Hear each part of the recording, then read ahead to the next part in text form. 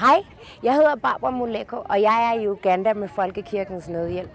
På søndag samler vi ind til verdens fattigste kvinder, og det her du kan hjælpe. Kvinder i verdens fattigste lande har oftest ikke de samme muligheder, som mændene har. De bliver slået, misbrugt og kommer oftest ikke i skole. Og det er der, du kan hjælpe.